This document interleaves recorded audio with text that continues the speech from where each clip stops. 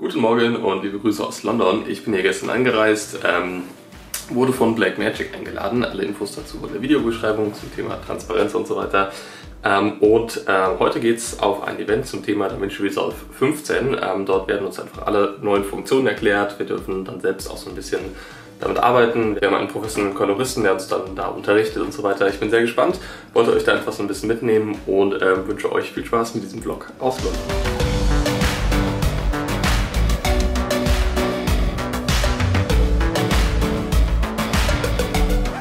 Okay, ich habe es im Vloggen einfach nicht so drauf. Ich habe äh, total verpeilt, einfach weiterzumachen. Es hat sich auch einfach nicht so angeboten. Deshalb mache ich jetzt einfach hier entspannt aus meinem Studio in Berlin weiter. Ähm, werde euch einfach so erklären, was wir eigentlich an diesem Tag so gelernt haben, worum es ging und werde euch hauptsächlich die neuen Funktionen von DaVinci Resolve 15 vorstellen. Das Ganze ist kein äh, Review zum kompletten Resolve und auch kein Tutorial, sondern es geht wirklich nur um die Neuerungen, die jetzt DaVinci bei diesem Event ähm, herausgestellt hat. Es geht also wirklich um diese vielen kleinen Verbesserungen im Vergleich zu vorhergegangenen Versionen von DaVinci Resolve. Ähm, es kommt bestimmt nochmal irgendwann von mir ein Tutorial zum Thema DaVinci. Wie gesagt, dieses Video ist das aber jetzt nicht. Also viel Spaß und weiter geht's. Ich habe mir jetzt mal so ein paar Notizen gemacht mit dem Laptop, deshalb nicht wundern. Also das Event fing an mit so ein paar geschichtlichen Sachen, wie hat sich DaVinci überhaupt entwickelt. Viele von euch wissen es, einige wahrscheinlich noch nicht. Äh, DaVinci hat früher extrem viel Geld gekostet und zwar war das immer mit der Hardware gekoppelt, mit diesen riesen Panels zum Color Graden. Die haben teilweise über 200.000 Euro gekostet.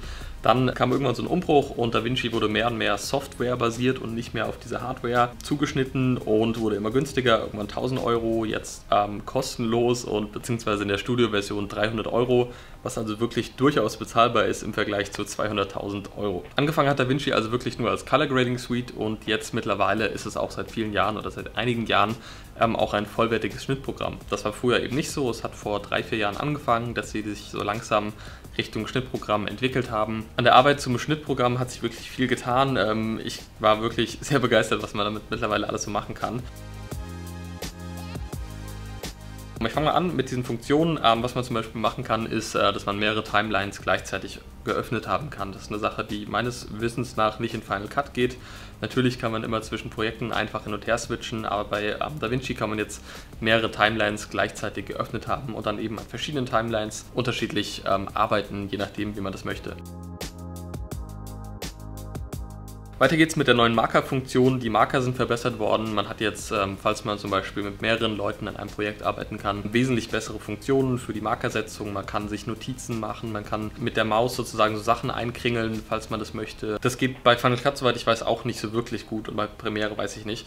Ähm, das ist schon mal ganz super. Man kann Keyframes bei Effekten jetzt viel, viel besser setzen. Das heißt, man kann Effekte langsam einfaden lassen. Man kann sogar auch einstellen, ob die jetzt geradlinig eingefadet werden oder halt eben mit so einer leichten Kurve. Auch das vermisse ich bei Final Cut noch, also super schön. Gibt ein Subtitle-Tool für Leute, die mit Untertiteln arbeiten und man kann dann beim Export sagen, ob die Subtitles gleich eingebacken werden sollen ins Video oder ob man ähm, sich so eine Subtitle-Datei exportieren lassen möchte, die man dann zum Beispiel bei YouTube wieder hochladen kann. Ist also super für YouTuber oder Leute, die irgendwie Dokumentationen machen.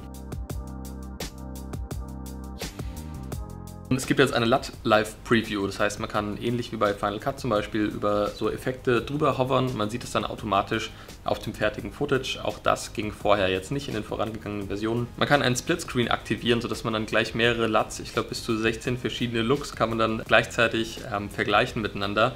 Das kann man dann zum Beispiel am Set nutzen, um dann die Kamera entsprechend so einzustellen, dass sie schon perfekt irgendwie dann vom Look her passt. Oder man nutzt es eben in der Post-Production, um vielleicht einem Regisseur, der neben einem sitzt, ähm, verschiedene Looks irgendwie zu zeigen. Richtig coole Sache und auch für sich persönlich zum Vergleichen ist das natürlich cool. Außerdem hat man Shared Notes bei Color Corrections. Ähm, in vorangegangenen Versionen konnte man natürlich die Notes ähm, speichern, indem man sich zum Beispiel in der Galerie ähm, verschiedene Looks gespeichert hat. Das Ding ist, wenn man jetzt diese auf ein anderes Video drauf kopiert und dann wieder Sachen verändert, bleiben die wirklich nur auf dem Video dann bestehen, ähm, auf dem man die jetzt drauf kopiert hat.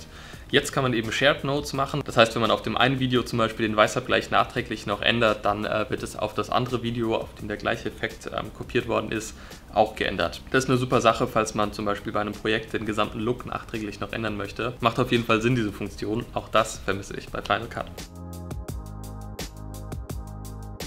größte Neuerung bei DaVinci Resolve 15 ist, dass das Programm Fusion jetzt direkt in DaVinci eingebaut worden ist. Für die, die es nicht wissen, Fusion ist ähm, ähnlich wie After Effects ein Compositing-Tool bzw. ein vollwertiges Compositing-Programm, was auch zu Blackmagic gehört und jetzt haben sie das eben in DaVinci direkt integriert.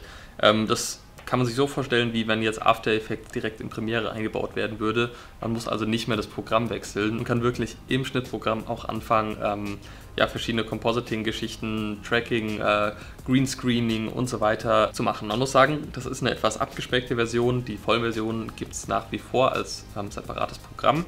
Aber sehr, sehr viele Funktionen aus Fusion findet man jetzt eben auch in DaVinci Resolve. Das ist eine super Sache, gerade für Leute, die halt eben auch so ein bisschen mit Compositing arbeiten.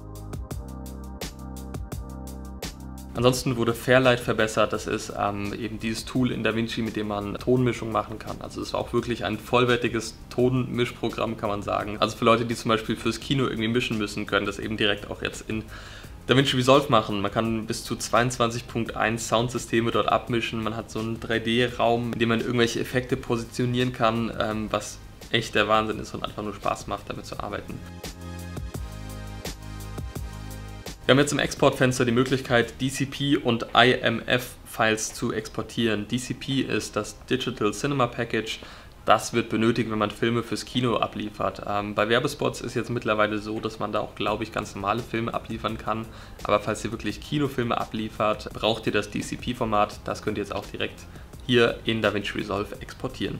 IMF-Format ist das ähm, Format, was für Netflix benötigt wird. Also falls ihr irgendwann mal in Zukunft oder auch jetzt gerade irgendwelche Projekte für Netflix abliefern wollt oder müsst, könnt ihr das jetzt eben auch direkt mit DaVinci machen. Man muss auch sagen, dass die Performance viel besser geworden ist im Vergleich zur vorangegangenen Version. Das heißt, die Wahrscheinlichkeit, dass es irgendwie abstürzt, ist auch geringer geworden. Gerade gibt es ja nur noch die Beta-Version, die Vollversion wird auch bald veröffentlicht. Ähm, die sollte dann nochmal stabiler laufen. Gibt jetzt Smart Bins zum Organisieren vom Footage. Das heißt, man kann sich das Footage ähm, wirklich sehr, sehr gut irgendwie organisieren. Man kann mithilfe der Metadaten, die im Video irgendwie drin sind, also Shutter Speed, Framerate, Auflösung und so weiter, kann man sich so Smart Bins erstellen, sodass man das Footage immer schnell wiederfindet. Das heißt, wenn ihr jetzt ähm, nach Footage sucht, was nur in Slow Motion aufgenommen worden ist oder nur mit 24 FPS oder so, könnt ihr euch das alles komplett so schön sortieren. Macht also auch Spaß, damit zu arbeiten. Man kann auch mit Proxys schneiden. Ähm, viele Leute arbeiten ja mit RAW. Codex ähm, in DaVinci und äh, manche Rechner machen das eben nicht mit. Hier kann man jetzt auch super easy sich Proxy-Medien erstellen, kann dort auch viel präziser die Proxy-Medien einstellen. Bei Final Cut hat man ja so gut wie gar keine Möglichkeit, irgendwie die Auflösung oder die Kompression von den Proxys einzustellen. Und das kann man jetzt eben hier super detailliert auch machen. Für Leute, die jetzt sagen, okay, ich ähm, bin so zufrieden mit meinen Shortcuts von Premiere oder von Final Cut, für die hat sich Blackmagic auch was überlegt und zwar kann man jetzt direkt einstellen, dass man zum Beispiel das Keyboard Mapping von Final Cut direkt in DaVinci übernehmen kann. Das heißt, ähm, ja, Leute, die jetzt hier ganz viel mit Shortcuts arbeiten, haben dann mit DaVinci auch keine Probleme, weil sie die gesamten Shortcuts aus ihrem vorherigen Schnittprogramm zum Beispiel übernehmen können. Ja, das waren jetzt erstmal so die Sachen, die ich herausstellen wollte. Es waren natürlich jetzt viele Informationen und sehr schnell, aber ich hoffe, ihr habt alles ein bisschen verstanden. Ähm, also ich kann nur sagen, ich war mega beeindruckt, wie ausgereift dieses Programm jetzt mittlerweile schon ist. Ähm, es hat ja vor wenigen Jahren ähm, angefangen, diese Entwicklung Richtung Schnittprogramm. Jetzt kann man einfach mittlerweile sagen, es ist ein vollwertiges Schnittprogramm, es ist kostenlos. Es gibt in der Studio-Version natürlich ein paar Sachen, die interessant sind. Zum Beispiel, dass man größere Videos als Ultra HD exportieren kann. Also die kostenlose Version kann man nur bis Ultra HD, was aber für fast alle Projekte reicht, exportieren. Dann noch so ein paar Profi-Tools, dass man mit Dual-Grafikkarten arbeiten kann. Ähm, die Noise Reduction ist auch nur in der Studio-Version. Ansonsten habt ihr wirklich ein vollwertiges Programm für 0 Euro. Also, mir hat es sehr gefallen, dieses Event. Ich habe sehr viel gelernt, auch Sachen, die ich jetzt noch nicht so wusste. Ich kann euch nur raten, probiert es mal aus, gerade wenn ihr Anfänger seid und auf der Suche nach einem Schnittprogramm seid, ähm, ist DaVinci meiner Meinung nach die erste Adresse, zu der es hingehen soll. Es gibt natürlich ähm, Alternativen, Hitfilm Express, ähm, die ich auch mal ausprobiert habe. Ich finde DaVinci einfach viel besser. Es ist viel logischer aufgebaut, es ist ähm, professioneller. Man hat ähm, alle Möglichkeiten, mit professionellen Codecs zu arbeiten, zu colorgraden, zu schneiden. Jetzt, ähm, es gibt sehr viele Effekte zum Schneiden mittlerweile da drin. Also ich kann euch nur raten, probiert es aus und ähm, von meiner Seite war es das jetzt hier zum Thema DaVinci Resolve 15. Ich bedanke mich nochmal bei Blackmagic für die Einladung. Es war wirklich ein sehr schöner Trip. Habe viel gelernt, ich habe coole Leute kennengelernt, ähm, hat ja wirklich Spaß gemacht und ich bin mal gespannt, was da jetzt noch so kommt von Blackmagic. Also, ich wünsche euch ähm, ja, viel Spaß beim Ausprobieren mit dem Programm und jetzt würde ich sagen, bis zum nächsten Video, macht's gut. Ciao.